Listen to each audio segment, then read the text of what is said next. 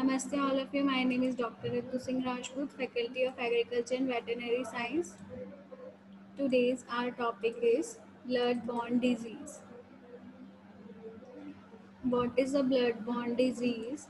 Pathogen microorganisms that are present in human blood and can cause disease in a human called blood-borne pathogen.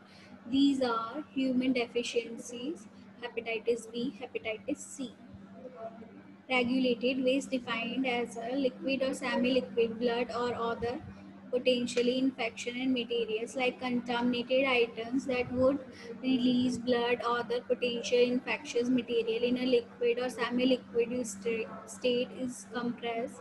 Contaminated sharps or pathological microbiological wastes contaminated blood or other potential infectious materials and the following human body fluids like semen, vaginal secretion, and synovial fluids, peripheral fluids, pericardial fluids, amniotic fluids, saliva, dental procedure, any all bloody fluid situation where it is difficult or impossible to differentiate between body fluids. Effect of um, if, uh, that is uh, uh, exposure of determination control plans and that is uh,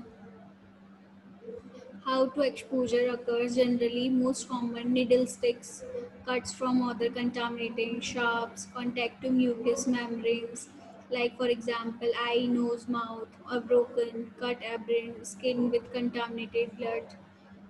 So this is all about the blood-borne disease thank you